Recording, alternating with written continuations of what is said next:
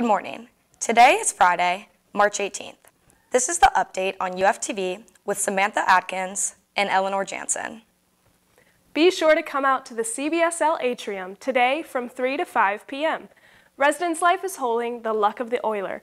Stop by for your chance to win gift cards, take selfies with a leprechaun, and enjoy green snacks.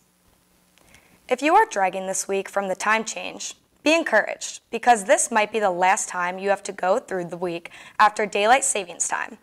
This past week, the Senate passed a bill that would end daylight savings. If this bill passes in the House, daylight savings time will end as soon as next year.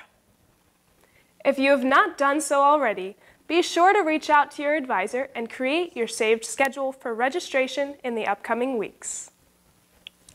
The UF City Mission Club is holding a free breakfast next Friday from 9 to 11 a.m. in the Davis Building atrium.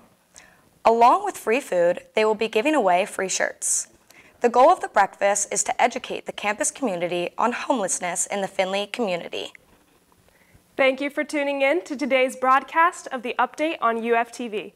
Have a great weekend and happy St. Patty's Day.